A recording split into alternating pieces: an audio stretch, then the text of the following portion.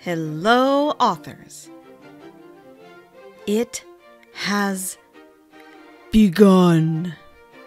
All those ideas that have been bubbling in your brain during October, all those characters you've been creating, it's time! Today's tip is to write as much as possible. Get off to the best start that you can while your ideas are fresh.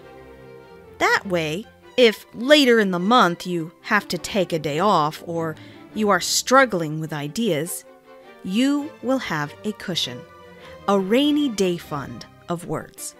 Because trust me, there will be days that you don't want to write. The worst thing you can do today is not start. Because then the mountain of procrastination will begin to grow. You will find excuses.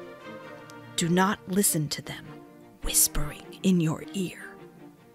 Nano is all about forming good habits, and after a month, you'll be amazed at how easy it is to do again. So go, get started. And until tomorrow, stay safe and stay creative.